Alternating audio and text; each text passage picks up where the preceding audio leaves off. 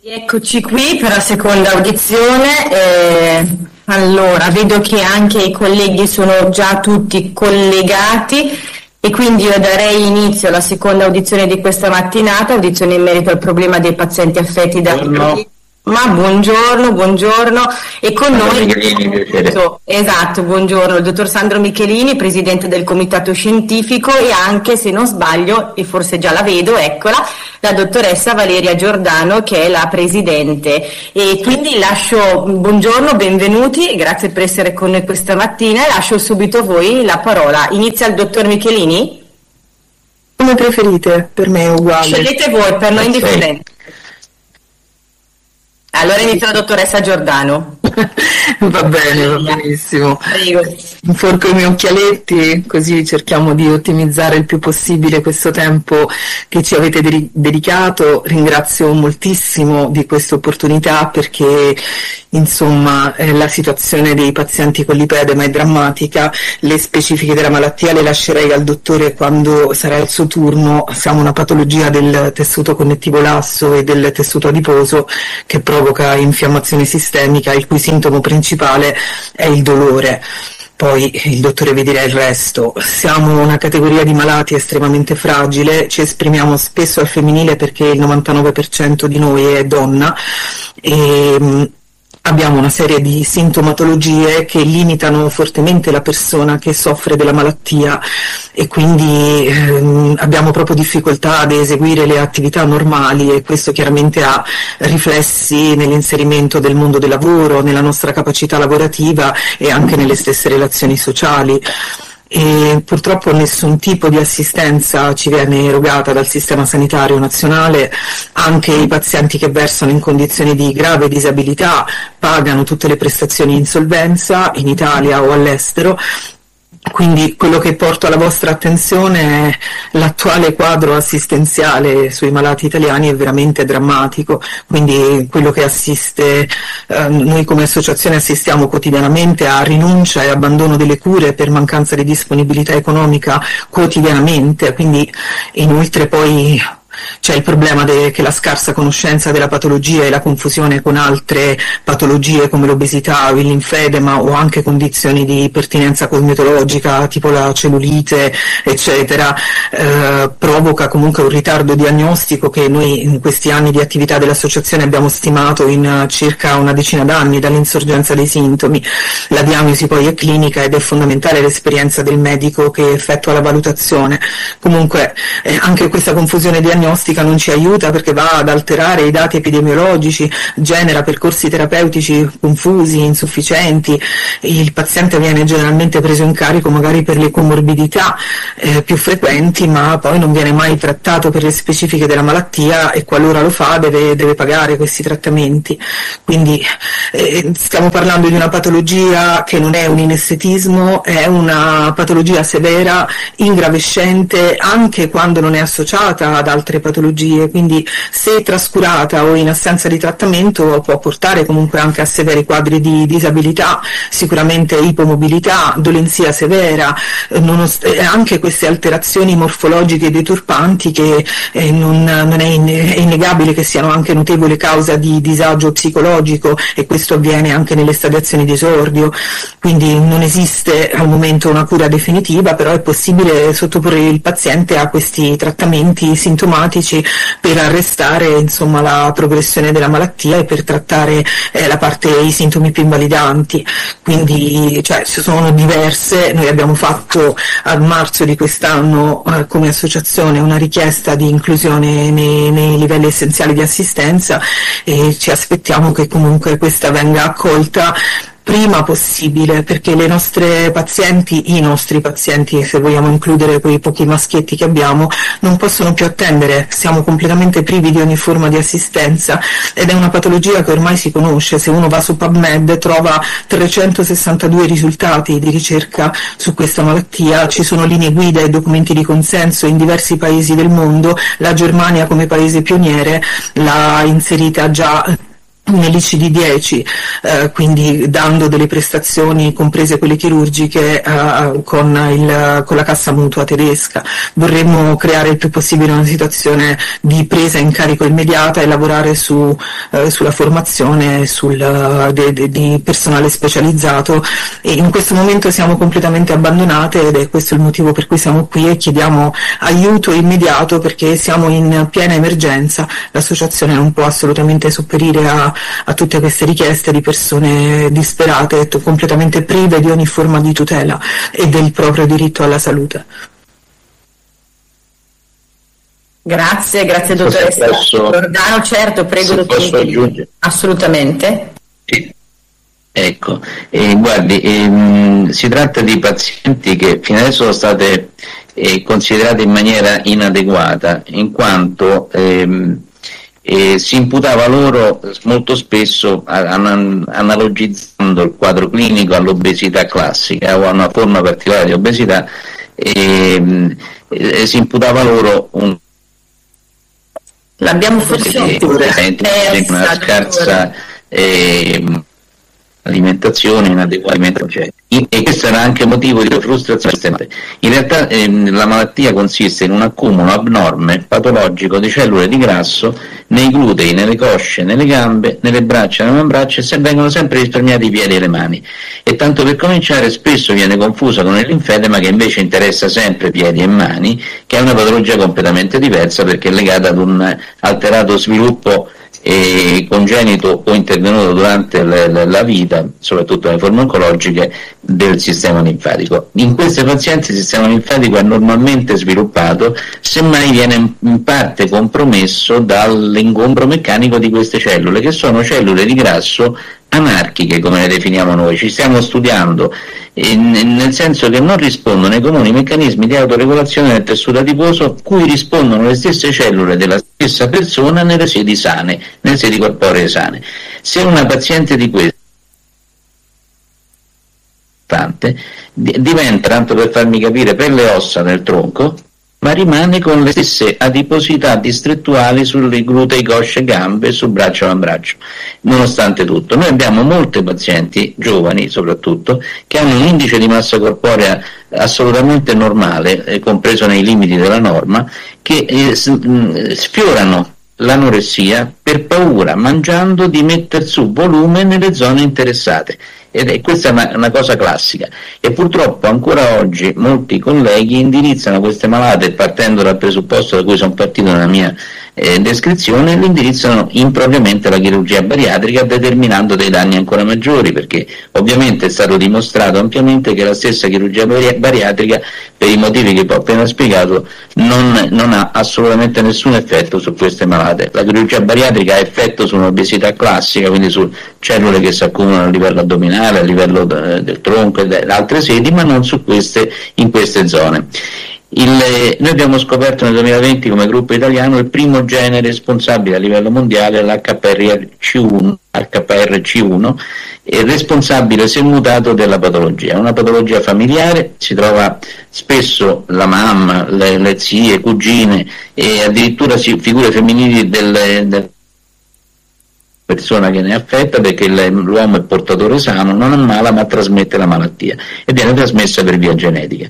Il problema è che è una malattia che oltre all'ingombro meccanico, che nei casi più avanzati, perché parliamo di quattro stadi, nel secondo, terzo, terzo avanzato, il, comporta gravi problemi di riduzione della capacità funzionale anche deambulatoria. E noi abbiamo dei pazienti per, per, le quali abbiamo chiesto l'accompagno perché non sono in grado per esempio di infilarsi una scarpa, di provvedere alla propria igiene personale negli stadi clinici più avanzati, ma non ci si dovrebbe arrivare se, se vengono trattati in maniera precoce veloce, il, ehm, sono mm, pazienti che assolutamente debbono essere eh, considerati eh, in quanto tali affetti da una patologia che l'OMS ha riconosciuto nell'undicesima versione dell'International Classification of Disease pubblicata a gennaio di quest'anno come malattia con un suo codice appropriato. Noi su questa scia, già da tempo lavorandoci ovviamente da anni, abbiamo fatto richiesta anche alla Commissione LEA del Ministero della Salute per il riconoscimento della malattia tra i livelli essenziali di assistenza e stiamo seguendo ovviamente la pratica anche a quel livello.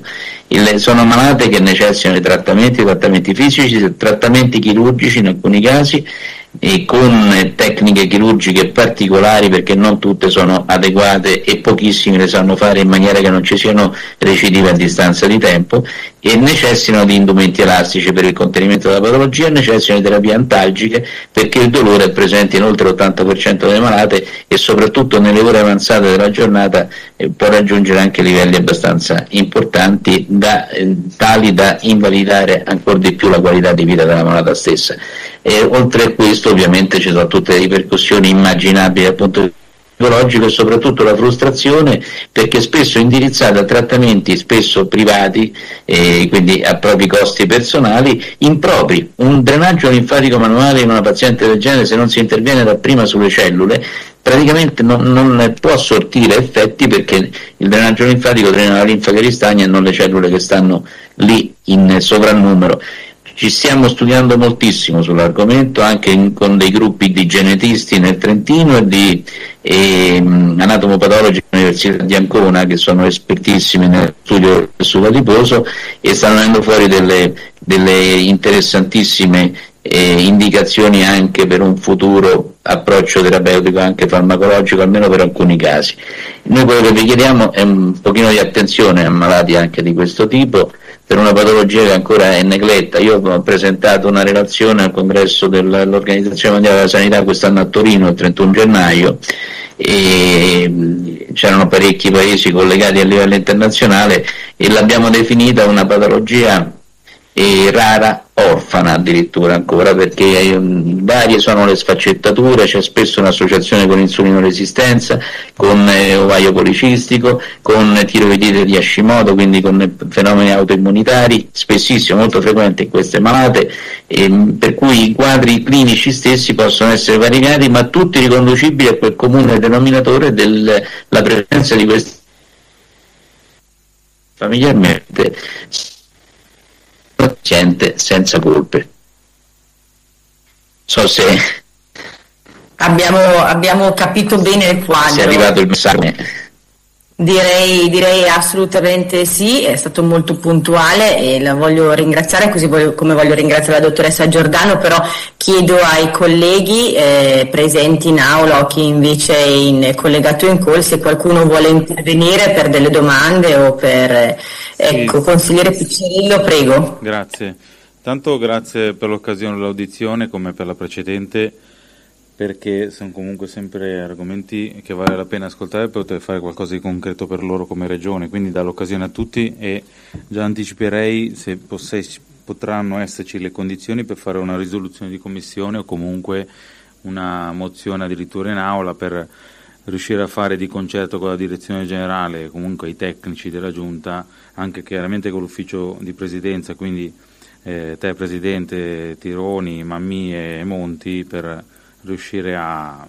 a dar concretezza ogni volta a queste audizioni, a prescindere di chi le, le propone, perché eh, è noto spesso, eh, faccio una piccola parentesi tanto per dire che comunque le audizioni che calendarizziamo, una più importante dell'altra, a prescindere, ripeto, di chi le propone, spesso però lasciano una, una, una richiesta, non magari un'aspettativa, ma comunque una mh, descrizione, manifestazione di un problema vissuto sulla propria pelle di persone che poi anche come attori o la vivono o assistono persone tramite organizzazioni, associazioni eccetera, però eh, descrivendo che praticamente regione eh, potrebbe fare di più e questo è un, il classico un po' discorso generalizzato, però per arrivare a riuscire a, anche a eh, così proprio fare un intervento propositivo, anche a fare, eh, riuscire a proporre fare una proposta sui desiderati, eh, ripeto, va con mille valutazioni politiche, economiche e tecniche, però che almeno eh, su dieci punti, dieci aspetti eh, che riguardano magari una fascia d'età, piuttosto come è stato descritto finora praticamente, piuttosto che l'uomo, più che la donna, che in base alle caratterizzazioni poi della problematica che viene descritta, dare comunque almeno entro fine legislatura una, un miglioramento del servizio che viene già dato, ma eh, ripeto, sempre nell'ottica di valorizzare chi come adesso ha, finito, ha, appena finito di descrivere un servizio che comunque eh, le persone che eh, hanno determinate patologie, patologie, come in questo caso, alla fine poi si devono sobbarcare quasi in autonomia, se non da soli in alcuni casi, ma comunque eh, come dicevo poco fa, chiudo così, come dicevo poco fa, cioè che appunto eh, si potrebbe fare di più, magari anche con minimi costi o di risorse umane, economici e quindi appunto perché non farlo, quindi eh, comunque ringrazio ancora tutti. Poi se gli auditi hanno eventualmente per la commissione, chiedo questo, se hanno magari da una scala da 1 a 10 la prima cosa più importante da lasciare a testimonianza della Commissione e l'Ufficio Presidenza così che dà uno spunto concreto che ci lasciamo con partiamo da lì, cioè la prima cosa più importante domani mattina quale potrebbe essere da farsi? Grazie. Grazie, dottoressa Giordano, prego. Uh, sicuramente noi avremo bisogno di una presa in carico super personalizzata, però per esempio dal momento che l'ipedema, poi magari come dirà forse meglio il dottor Michelini, è presente nella, mh, nell'accordo Stato-Regioni per le linee di indirizzo per il linfedema e patologie correlate come patologia correlata del sistema linfatico, già un primo uh, intervento di aiuto immediato potrebbe essere quello di estendere uh, almeno i tutori elasto compressivi ai malati di lipedema, cosa che adesso ci è preclusa. Quindi eh, già cominciare da una situazione del genere potrebbe essere così in attesa di eh, vedere quali sono le altre terapie eh, specifiche a cui possiamo avere accesso ehm, tramite l'EA, eccetera. Non so, dottore, voleva aggiungere qualcosa lei in merito? Dottore, Devi attivare l'audio. Chiedo scusa, dico avvocato a livello ministero per arrivare e poi è stato firmato in conferenza Stato-Regioni il 15 settembre 2010 sulle linee di indirizzo sulle mie patologie correlate. Ricordo benissimo che un'intera pagina, mi sembra la 27, sia dedicata proprio all'ipedema, perché già da allora avevamo visto lungo sul discorso delle necessità di inserire anche tipo, fa pazienti anche di questo tipo e vi posso dire che alcune assicurazioni private su quella pagina di quel documento sono riuscite a rifondere i costi di eh, interventi chirurgici mirati, ovviamente circostanziati, eh, più che giustificati, eh, con risparmio appunto dal punto di vista del, della paziente, del, dell'intero costo dell'intervento. Quindi qualcosa di ufficiale già c'è. Dottore, questo però è un intervento che eh, si può fare a livello nazionale e ministeriale, non a livello regionale, giusto? Mi conferma? Eh, allora, eh, alcune regioni, non la vostra, chiedo scusa ma devo dirlo, sì. il, per esempio la Campania, la Sicilia, il Lazio, la, la Puglia, la Calabria stessa, hanno recepito in piena autonomia il, l'intero documento, lo hanno recepito con un'apposita delibera e questo ha fatto sì che almeno per esempio non la sento. Noi, io la sento e nel Lazio eh, predisposti dei fondi extra LEA in attesa che i decreti attuativi eh, rendano operativo il nuovo nomenclatore proprio per fornire già questi, questi presidi che sono fondamentali, sono come l'antipertensivo per l'iperteso, come il, l'antidiabetico per l'insulina per il diabetico, sono patologie croniche che necessitano di trattamenti e, e per migliorare la qualità di vita del paziente. Certo, come extra LEA. Ehm, eh, allora, io se non ci sono altri interventi da parte dei colleghi, e non vedo né in chat né mani alzate, io eh, direi di, eh, di, far così. Eh, magari dottor Michelini e dottoressa Giordano, se eh, fate avere alla, all'indirizzo email della nostra segreteria ehm, delle indicazioni un pochino più puntuali, come diceva il consigliere Piccirillo, una lista delle certo. desiderata, prendendo anche esempio, perché no, da chi ha già eh, portato avanti certo. Delle, delle, attività eh, in merito proprio alla tematica che, che stiamo de- discutendo questa mattina, ce le mandate, eh, la segreteria come sempre sarà eh, prontissima a ehm, eh, eh, mandarle a tutti i nostri colleghi e poi eh, vediamo quello che possiamo fare, quindi poi accoglieremo quelle che saranno le vostre osservazioni e vedremo che tipo di documento insieme possiamo, possiamo stendere. Dottoressa Giordano voleva aggiungere qualcosa? Soltanto una piccola chiosa, innanzitutto ribadire il mio ringraziamento al consigliere Piccirillo e al Presidente Monti per averci dato questa opportunità e se eventualmente oltre a questa documentazione che ci chiedete di fornire eh, possiamo avere appoggio da parte della Regione per poter organizzare magari degli eventi informativi dedicati sulla patologia con il vostro patrocinio o comunque eh, eventi formativi informativi per poter coinvolgere più persone possibile, dal medico di medicina generale al ginecologo, all'endocrinologo, noi avremo tanto bisogno di endocrinologi, non ne abbiamo, quindi se riusciamo a creare insieme quella che si chiama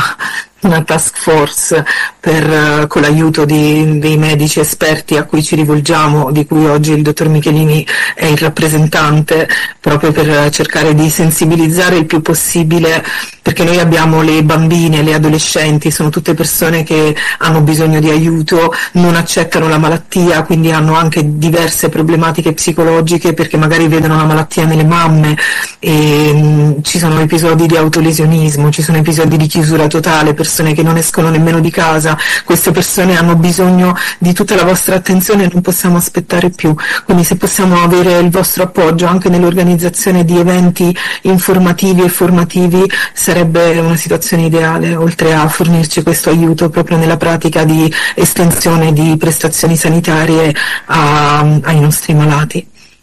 Su questo tipo di attività mi sento di dire che eh, il nostro appoggio assolutamente non, eh, non mancherà. Grazie. Quindi grazie a voi, eh, ringraziandovi ancora per essere stati con noi questa mattina, ci lasciamo con l'impegno di raccogliere il materiale e poi ci risentiamo. Sono sicura che sia il consigliere Piccilillo che il presidente Monti raccoglieranno questo appello. Bene. Grazie. Grazie, a buon presto, lavoro. arrivederci, buon lavoro anche a voi. Arrivederci, Grazie. arrivederci buon lavoro, arrivederci. E per invece i colleghi eh, ricordo che dobbiamo cambiare il link per la prossima audizione che inizierà alle ore 11 tra 7 minuti. Grazie a tutti.